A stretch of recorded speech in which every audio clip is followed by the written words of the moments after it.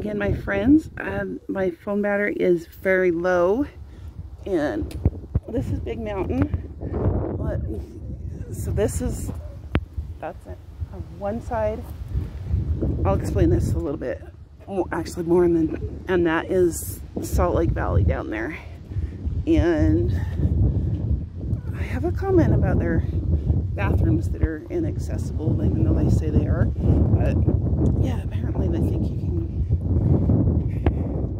They look like they are from here, but they're not. There's too much of a.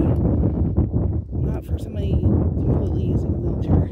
But I wanted to show you this. Um, monument, and that tells the history of the, the Mormons coming over. Can you imagine coming over this and having to so much